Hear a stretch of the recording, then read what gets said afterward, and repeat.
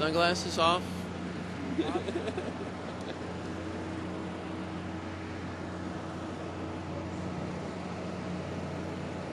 little easier doing it this way.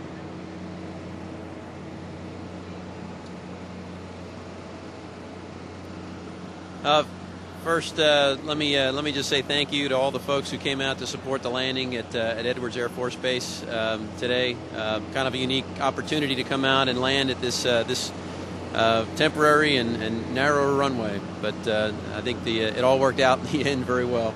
Uh, let me be the first to say that uh, the crew members who are not with us uh, are doing just fine. Greg Chamitoff, of course, is a, is a six month space flyer, and it takes just a little bit longer for them to reacclimate to the gravity of.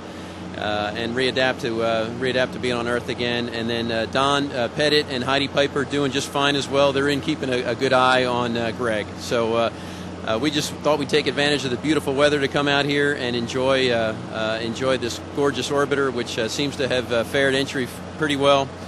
Um, and let me thank all the folks back in Houston and at the NASA centers throughout who went to support uh, what I believe is an extremely successful mission. It was very ambitious. It was uh, over 15 days long. Uh, we uh, we were the home improvement mission. We improved the uh, the space station inside and out, of course, with a new uh, water recycling system, and then the Solar Alpha rotary joint, which Heidi and her team so adeptly managed to repair. From what I've heard, is, is performing very well. So. Again, uh, thank you to all uh, throughout uh, the Edwards and NASA communities who who've supported us today, and it's it's great to be back on the ground, and it's great to be in California. Thank you very much.